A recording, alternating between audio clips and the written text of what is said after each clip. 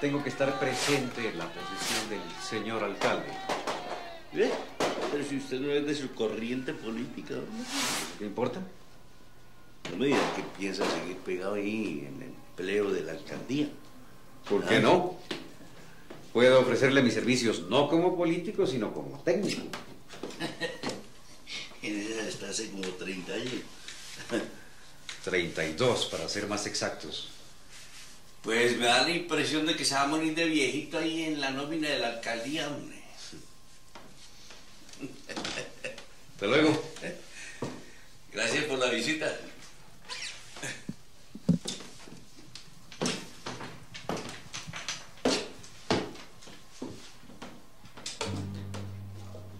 Hoy, primero de junio, se posesionan 1009 alcaldes elegidos por medio del voto popular por primera vez en la historia de nuestra patria. Ese nuevo hecho político fortalece la democracia y abre una nueva perspectiva para el municipio. Los alcaldes con sus logros contribuirán a mejorar la vida de sus gobernados, con el respaldo de su comunidad que los ha elegido directamente y que por lo tanto está profundamente involucrada en la planeación y ejecución de obras indispensables para la convivencia y el progreso. Quien hoy empieza a regir la vida municipal es un funcionario autónomo, parte de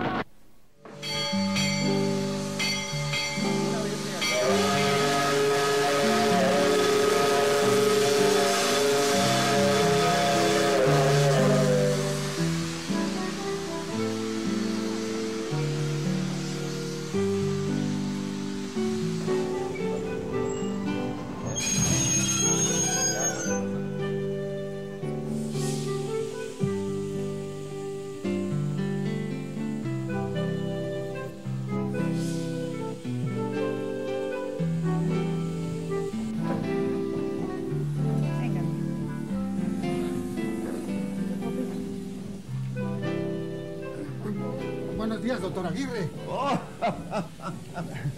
Qué gusto verte, Ambrosio. ¿Cómo estás? Eh, bien, doctor. Ya todos estamos enterados de su decisión de venirse a vivir del todo a su pueblo. Y todos sus amigos están muy contentos de saberlo. ¿Y sus enemigos? Virgen pura, el doctor Aguirre no tiene enemigos, su merced. Bueno, vamos a ocuparnos del equipaje. Eh, aquí tengo el carruaje. Ay, consiga un automóvil. Yo no me voy a montar en esa cosa. No está mal, no está mal, ¿no? Del todo mal no está. Pero toca.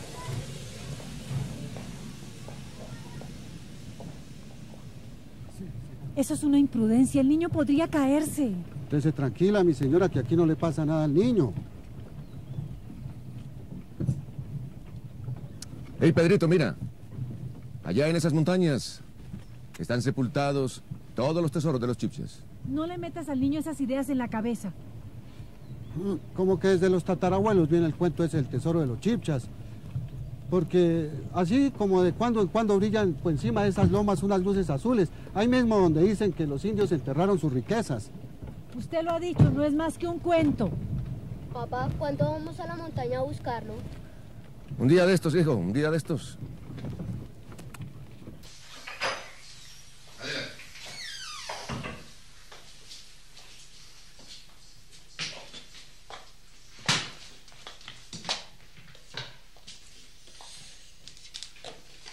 Eh, como puedes ver, esta es la sala. ¿Te Me gusta? costará mucho tiempo limpiar todo esto y hacerlo habitable. Tiempo no nos hará falta, María.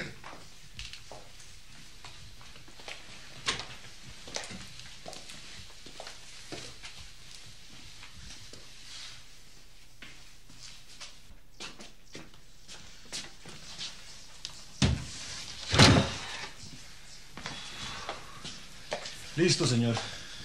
Bien, gracias. ¿Ustedes van a vivir aquí? Sí, sí, así es. Dicen que en esta casa se aparece un fantasma. ¿Un fantasma? Eso dicen. Eh, Es un simple cuento, mi amor. Como el del tesoro. Ajá. Lo que nos faltaba. No se preocupe, señora. Es un fantasma amistoso. Bueno, bueno, toma. Para ustedes dos, ¿eh? Muchas gracias. Que le vaya bien. Hasta luego, pues. Bueno, doctor Aguirre, yo tengo que irme también. Ambrosio, gracias por todo. Que te vaya muy bien. Señora María.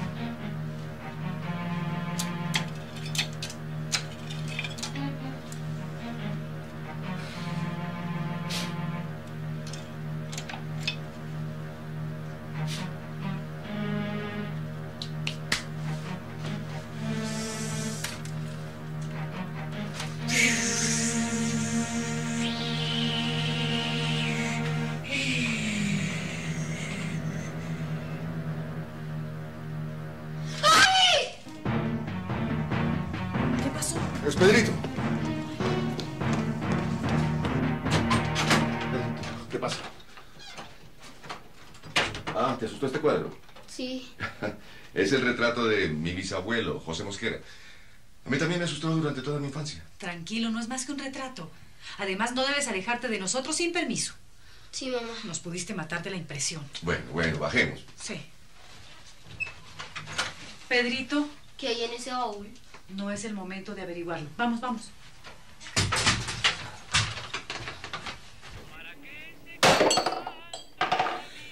Buen tiro, Pachito.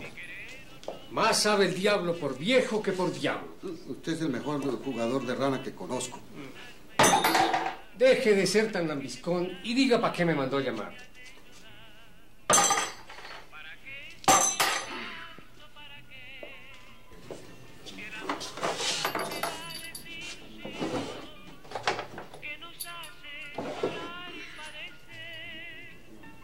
Otra cerveza, don Pachito? Me da pena, Ambrosio. No, señor, si es con mucha voluntad. Bueno, está bien. Dos amargas, don Alirio. Alirio. Dos amargas. Sí, sí. Como que el doctor Aguirre acaba de llegar. Lo sé. Todos lo saben. Y ahora como que me queda más tiempito para dedicárselo a la tierrita. Eso me parece bien. Y pues yo he pensado que como que uno necesita compañía. Me ha mandado llamar para que sembremos su tierra en compañía. Eh, no, eh, sí. ¿Cómo es eso? ¿Sí o no? Buen tiro, don Pachito. Le voy ganando. Lleve la cuenta. Ya me debe cinco pesos. Está hecho usted todo un campeón, don Pachito. Ya le dije a Ambrosio que deje de ser tan alabancioso. ¿Y ¿Qué le vamos a hacer si la verdad? Así que necesita compañía. Mm. De cierta manera, Bueno, decídase. ¿La necesita o no la necesita? claro, estoy necesitado. No cuente conmigo. Pero, don Pachito, yo, yo tengo que contar con usted. Olvídelo. Lo que pasa, don Pachito, es que yo, yo lo llamé para que usted me dé su consentimiento. Mi consentimiento. Sí, eh, la verdad es que yo quiero casarme con Ernestina. ¿Qué dice? Que yo quiero casarme con su hija Ernestina. Válgame Dios. Ambrosio, la cuenta.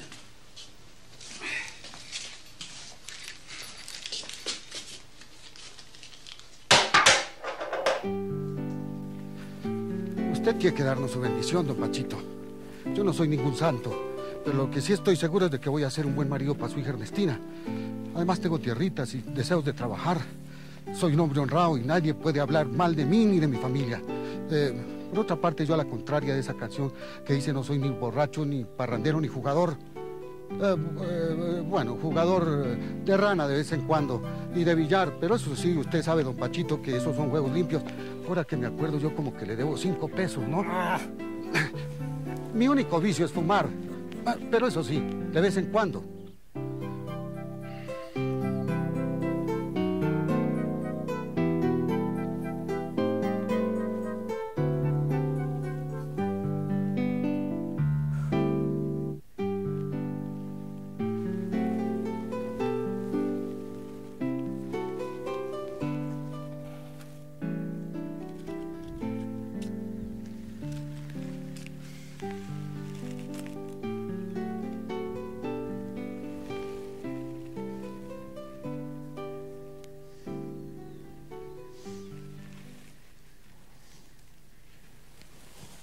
Va a llover, Eh, sí, señor. pero será por la noche, con truenos y relámpagos. El agua es buena para la tierra. La tierra y el agua son como marido y mujer. Así es. El uno sin el otro no pueden vivir. Eso sí es cierto.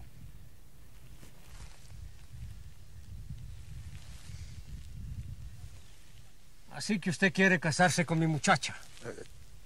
Sí, señor. Creo que tiene con qué mantenerla. Tengo unas tierras y tengo unos brazos. ¿Y ella qué dice? La verdad es que todavía no le he palabreado el matrimonio. Pero ustedes se determinan cariñosamente. Ah, eso sí, don Pachito, claro que sí. Bueno, lo único que le pido es que no me la haga sufrir nunca. No, no, señor. De lo contrario, tendrá que vérselas conmigo. Eh, Sí, señor.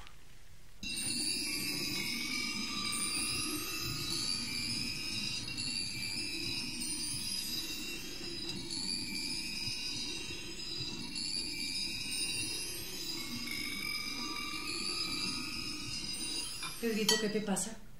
Te vas a tomar toda la sopa. Últimamente no comes nada, tal parece que vivieras del aire.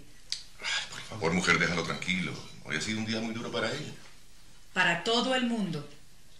No tengo hambre. Pues te tomas la sopa aunque no tengas hambre. Voy a necesitar un par de empleadas. Podríamos decirle a Ambrosio que nos ayudara a conseguirlas. Tienen que ser limpias y hacendosas. Va a ser muy difícil conseguir un buen servicio. Cobran esta vida y la otra. Están llenas de mañas, son perezosas. Y una termina de sirvienta de ellas. Tampoco es bueno generalizar, María. Ah, claro, tú lo dices porque no tienes que lidiarlas. Pero si vieras los trabajos que hay que tener para que hagan las cosas bien. Yo quiero gaseosa. No hay gaseosa. Además, el agua pura es mucho más saludable. Tu mamá tiene toda la razón, Pedrito. No sé cómo nos vamos a acostumbrar a vivir en este pueblo. Ah, será fácil. Lo dudo. Nos hemos venido a enterrar al fin del mundo. No exageres, María. Pronto te vas a convencer de que cometiste un error. Y terminaremos volviendo a la ciudad, donde está la civilización. Bueno, esto tampoco es la selva, ¿no? Peor aún, es el desierto. No quiero más. Y no me vuelves a comer ninguna tontería entre las comidas. Eso te arruina el apetito. ¡Ah!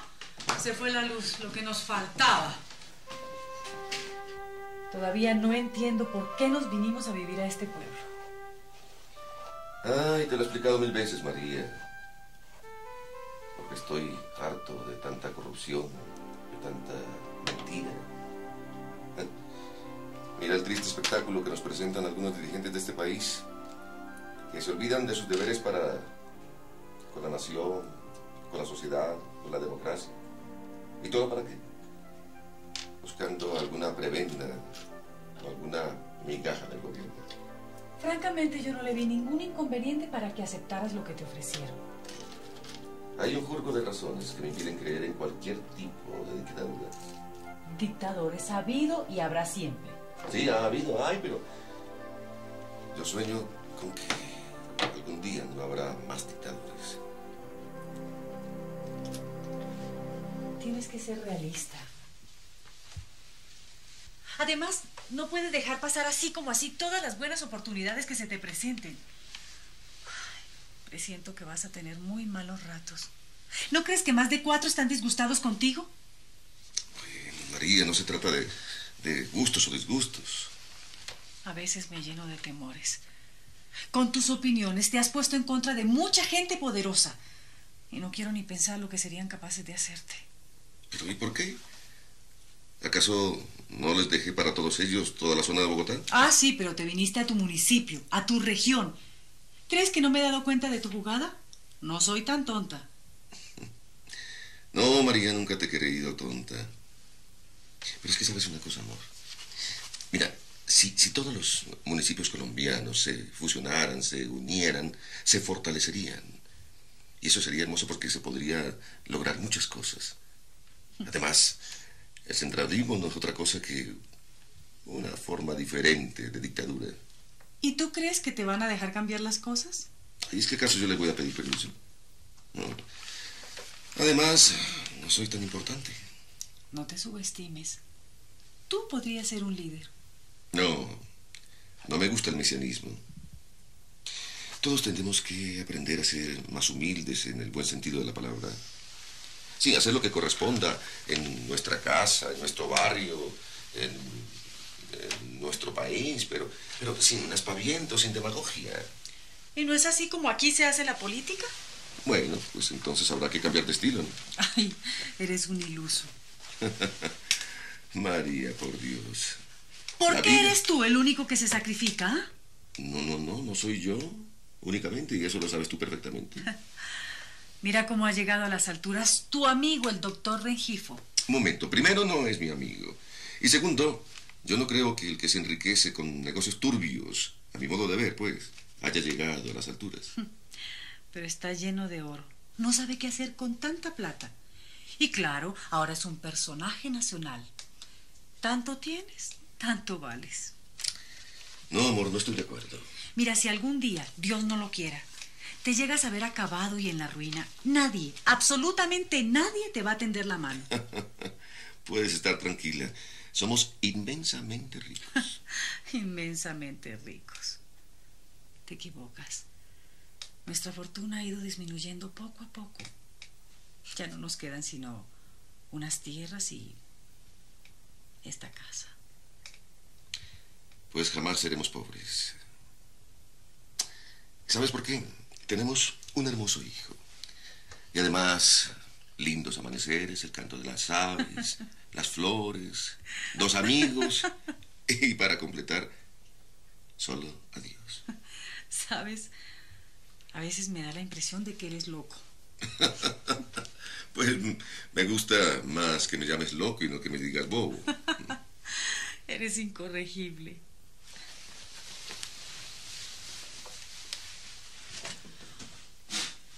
Estás preciosa, María.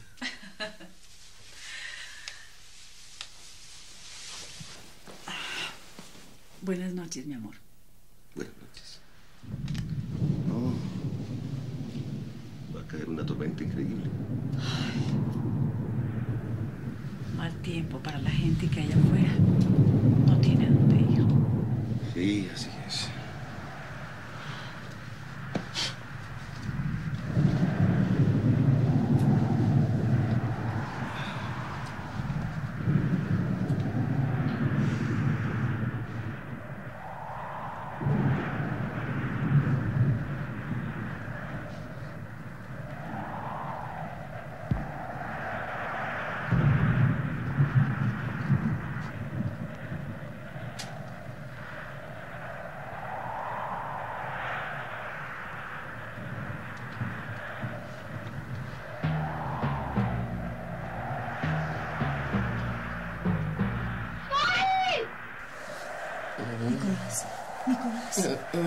Pasa? ¿oíste? ¿Qué? Un grito. No, no hay nada, estaba durmiendo. María, por Dios, tranquilízate. ¿Qué le va a pasar estando dentro de la casa? Espérame, voy a ver qué está pasando.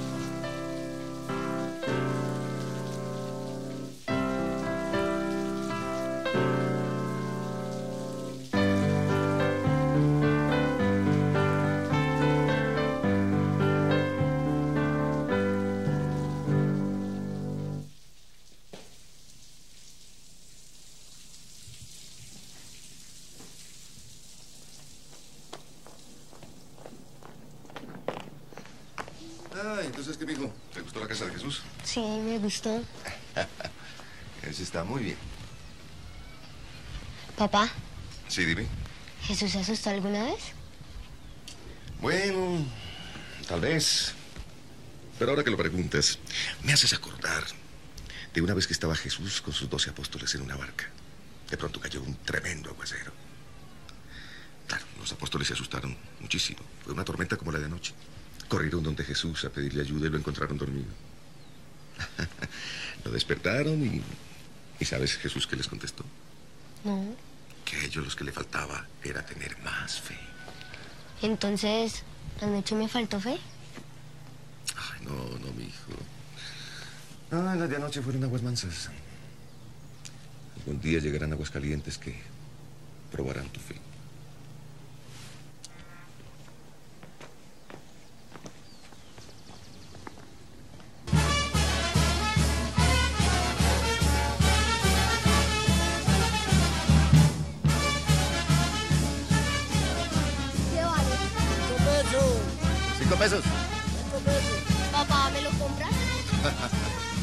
Está lindo.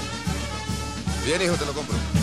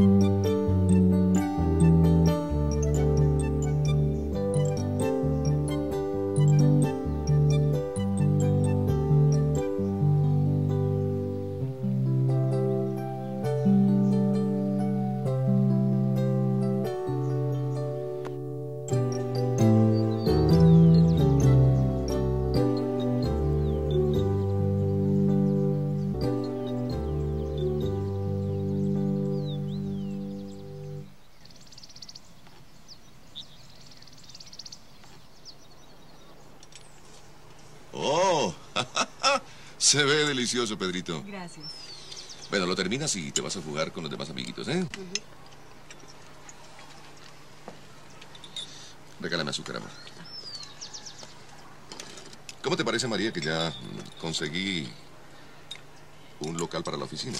Pues ojalá tengas suerte, porque si no vamos a pasar muchos trabajos.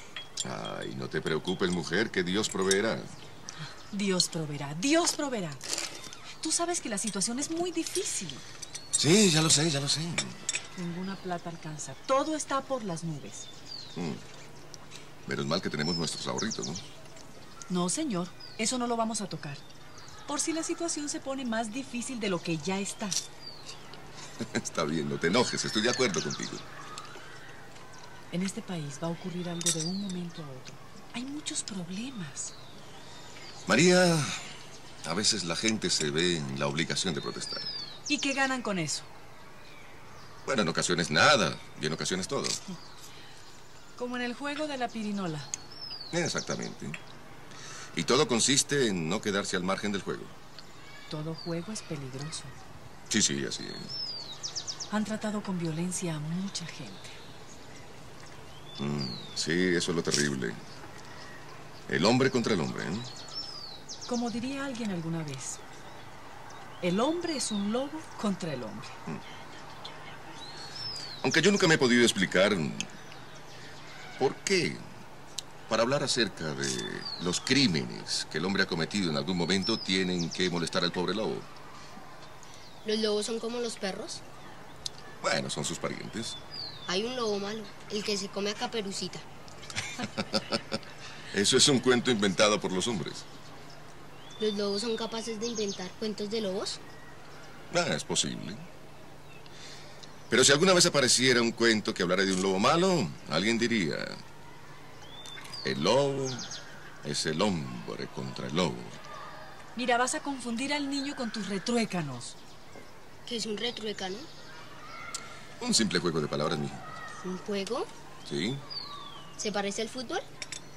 Bueno, en algunas ocasiones un retruécano puede parecerse al juego del fútbol. ¿Qué te pasa, Pedrito? ¿Te sientes mal? Aquí está el hombre malo. ¿El que dices que te siguió hasta la casa? Sí, ¿Y dónde está? ahí. Ahí, pero, pero ahí no veo a nadie, Pedrito. Ahí no hay nadie, Pedrito.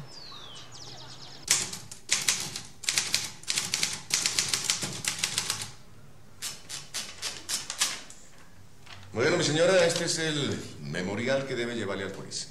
Gracias, doctor. Manténgame informado de todo. Y puede estar tranquila, su caso está ganado. Así que de a partir de ahora en adelante nadie podrá perjudicarla. Bendito sea Dios. Está completamente tranquila. Como le dije, doctor, no tengo plata para pagar. Ah, no se preocupe por eso, por favor. Bueno, me da pena. Pero yo le traje, doctor, este, este gatito. Ay, no era necesario que se pusiera en esta. Pues cuando tenga dinero me puede pagar, ¿no? Bueno, yo le dejo ahí ese animalito. Gracias, con esto es más que suficiente. Que Dios lo bendiga, doctor. Gracias, señora. Gracias por el pollito. Que ni tan pollito. Ay. Ay,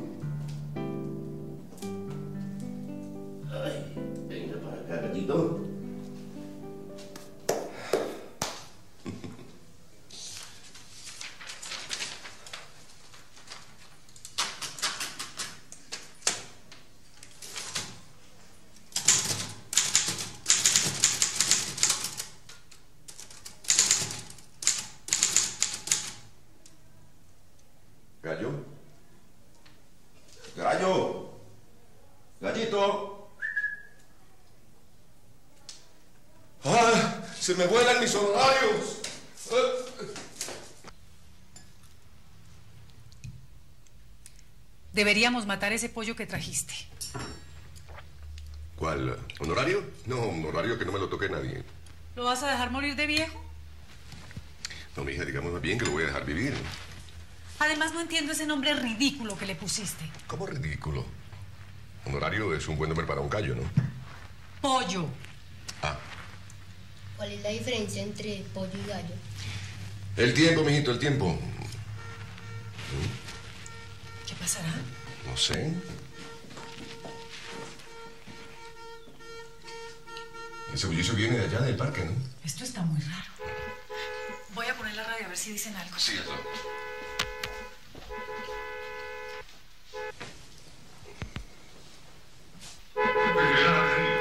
Abandona la residencia y sale con su familia rumbo al exterior. El gobierno queda en manos de una junta militar que prepara el camino para el pleno retorno a la democracia. Multitudes de ciudadanos han salido a las calles para manifestar su complacencia, ¡Magnífico! ¡Ha caído la dictadura! Mija, es que no hay mal que dure 100 años, ni cuerpo que lo resista. ¡Ay, qué maravilla!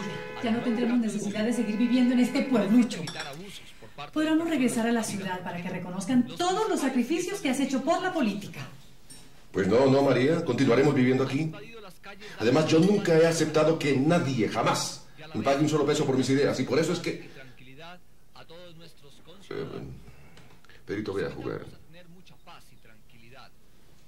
Sí, papá. Ya es hora de que reconozcan tus méritos. Yo me conformo con haber obrado siempre de acuerdo con mi conciencia. Por Dios, Nicolás, piensa en mí, en tu hijo. Mi amor, eso hago todo el tiempo. Él necesita una vida cómoda. La ciudad es lo mejor. No, no, no, él le bastará con una vida plena. ¿Sabes que no te entiendo? Parece que te gustara martirizarte. María, no me gusta el dolor propio ni el dolor ajeno. Simplemente he escogido un camino. ¿Y sabes? En todo municipio colombiano, por pequeñito que sea, siempre hay un mundo que descubrir y una paz que cimentar. Eres un loco. Bueno, si estar en concordancia con lo que pensamos y con lo que creemos es estar loco, pues sí. Además, ya me lo has dicho varias veces. Pero es que tus decisiones son insensatas. Mm, Tal vez. Nos vas a llevar a la ruina. Procuraré por no hacerlo. Eres terco, egoísta. María, amor, tú sabes que solo pienso en ti y en Pedrito. Además, vas a tener que ayudarme. Nos espera un trabajo tremendo. Aquí hay una cantidad de problemas, deshonestidades, injusticias y sobre todo una cantidad de personas que necesitan justamente un abogado honesto que los defienda de las triquiñuelas, de los gamonales y de los avivatos. Además hay que infundir ideas creadoras que sirvan a la comunidad. Ah, ¿Sabes qué? Voy a fundar un periódico. ¿Un periódico? Ajá. Dios nos ampare y nos favorezca. Eso cuesta mucha plata. Bueno, bueno, al principio será un periódico barato, que digo yo, dos páginas, tres páginas. Pues ya con el tiempo él crecerá, ¿no? Esta es otra de tus ideas locas. Un periódico es una cosa demasiado complicada. María, las buenas ideas se defienden solas. Y entre más locas sean, mejor. En fin, ya, ya veremos, ¿eh? Buenas, doctor Aguirre. Ambrosio, qué gusto saludarte. ¿Cómo estás? Bien, ¿Tu doctor. familia bien? Bien, doctor. ¿Qué es esto? ¿Qué pasa? Ven, ven, ac- acompáñame. Momento, momento, momento, señores, por favor. ¿Qué pasa? Que descubrimos a un canalla, un tipo que no hacía sino perseguirnos todo el tiempo. Iba y venía como un fantasma y a la hora de la verdad nos tenía todos pagando esconderos a peso. Es un pájaro, es un criminal. Bueno, bueno, bueno, bueno, bueno. ¿Y qué es lo que pretenden hacer? Ese no es el comportamiento de un país ni de un pueblo civilizado. Pueblo civilizado, el que a hierro mata, a hierro muere. Pero ustedes no pueden hacer eso. ¿Por qué no? Porque sería tomarse la ley con las manos.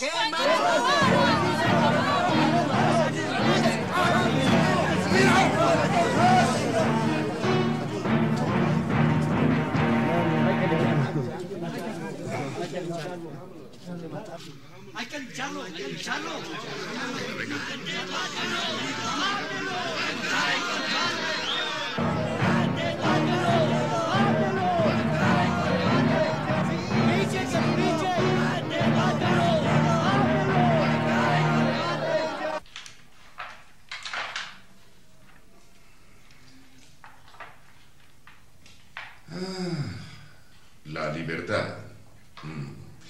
Marzo de 1959, número uno. Nicolás Aguirre, editor propietario. Pedrito, ven, ven.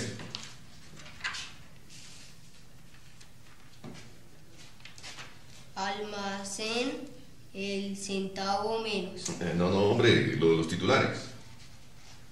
El Frente Nacional Garantía de Concordia entre los colombianos. Papá, ¿qué es el Frente Nacional? Bueno, son dos eh, partidos políticos del país que han llegado a un pacto, a un acuerdo para no atacarse entre sí. Luego los políticos no desean ayudar a resolver los problemas. Así debería ser, hijo, pero... No.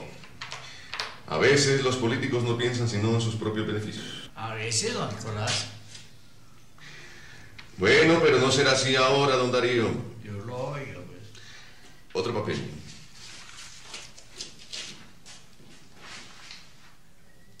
La libertad, la libertad,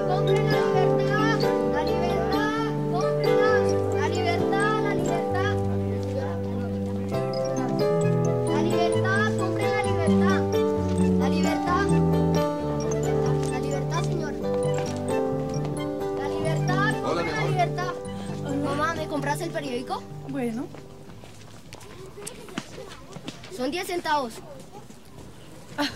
Así se hace, mijo. Bueno. ¿Cómo van las cosas? Bien. Y respecto al periódico, ya ves, se está vendiendo como pan caliente. Doctor Aguirre, señora. El señor Sosa. ¿Qué tal, doctor Aguirre? Mm, periódico. Son 10 centavos. Claro. Lo felicito, doctor Aguirre. Esta era lo que le hacía falta a este pueblo, un buen periódico. Bueno, muchas gracias, señor Sosa.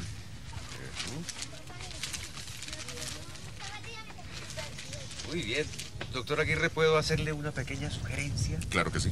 ¿Por qué no le pone una sección deportiva y otra de caricatura? Le quedaría perfecto. Sí, posiblemente para la próxima edición tendremos esas secciones. ¿eh? Bueno, claro, si puede sacarla, porque en este país muy pocas publicaciones superan el primer número. Así es la vida. Señor Sosa, la libertad tendrá una larga vida. Y si quiere suscribirse, lo espero en mi oficina. Muchas gracias. Señora. Hasta luego. Doctor Aguirre. Señor Sosa. Felicidades.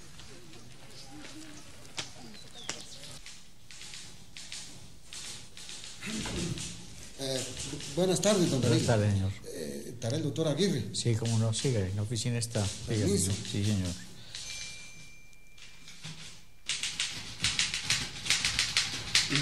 Eh, buenas tardes, doctor Aguirre. Hola, ya te atiendo.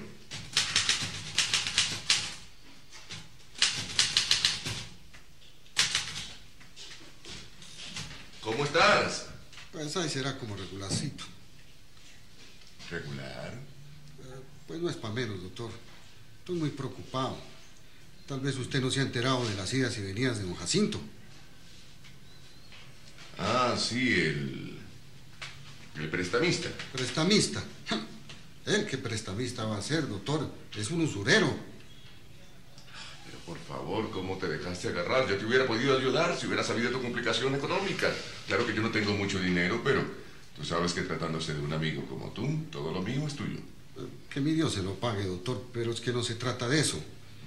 Es- hay dos cositas que me están zumbando en la cabeza como si fueran dos cucarrones. La primera tiene que ver con las trampas que nos ha puesto ese tal don Jacinto para chuparnos la sangre y robarnos nuestras tierras. ¿Y. ¿Y la segunda? La segunda, como que alguien bien mañoso está junto a él. Porque eso sí, el Jacinto es bien agalludo. Pero él no tiene la pispicia para planear todas las vainas que nos ha hecho. Pispicia. Eh, sí, la malicia, la inteligencia. te entiendo, sí, continúa. Y, ahora eh, nos va a envainar en otro pleito por unas tierras, unos papeles que no están legalizados, que le faltan firmas y recibos, documentos, yo qué sé más cosas. Y él sabe que esas tierras son nuestras, porque vienen de padres a hijos desde quién sabe cuánto tiempo, doctor. No te preocupes, Ambrosio, eso es fácil de demostrar. Pues tengo miedo, porque es que los viejos no eran muy cuidadosos con esas cosas. Ellos no le paraban mucha atención a los papeles. Pues yo no permitiré que los atropellen.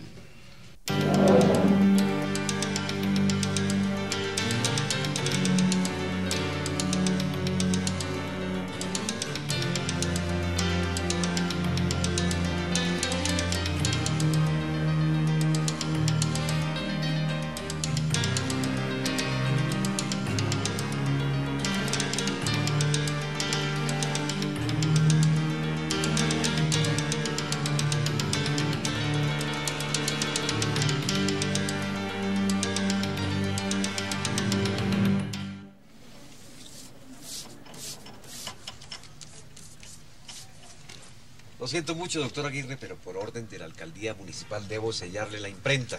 Le falta un papelito relacionado con el permiso de sanidad. Pues yo creo, señor Sosa, que no hay nada más sano que un periódico como La Libertad. Pues sí, doctor Aguirre, pero usted está ocupando un local que se rige por las mismas normas que contemplan las cantinas, los bares, las tiendas y similares. Una norma, por cierto, muy interesante, que equipara un periódico con una cantina. Sí, doctor, pero la ley es la ley. Usted lo sabe mejor que nadie. Sí, señor, una cosa es la ley y otra cosa muy distinta son las legulilladas. Tal vez, doctor, pero yo simplemente cumplo órdenes. Sí, es evidente. Mire, doctor, lo que usted debe hacer es cumplir con las normas, pagar una multa y si reincide, simplemente le sellamos el local definitivamente. Sí, reincido. Usted me entiende perfectamente. Perfectamente, señor Sosa. Que esté muy bien, doctor.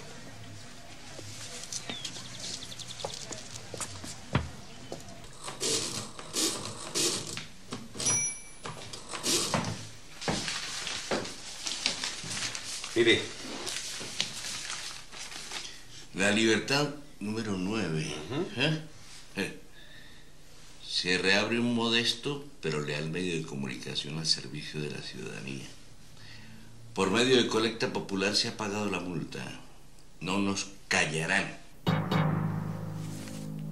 Está envalentonando el doctor Aguirre. ¿eh? Ajá. Y eso me preocupa, nos está creando una mala atmósfera. Patrón debe estar que se chispas. No, a mí no me preocupa porque yo he hecho lo que he podido. Oye, jamás pensé que un papelito de estos tuviera tanta fuerza, hombre. Así es, nos están levantando la voz, pero el patrón no va a permitir que esto vuelva a suceder. Yo creo que nos equivocamos con Aguirre, hombre. Debimos haberlo invitado a entrar en el negocio. Hubiera sido peor. Aguirre es un tipo raro. Parece como si no le gustara la plata. Ay, la plata nos gusta a todos. Sin plata no se puede vivir, hombre. Además, yo no creo en espíritus puros. En este mundo, cada hombre tiene su precio. ¿Quién sabe? ¿Quién sabe? Nicolás Aguirre es un hueso duro de roer.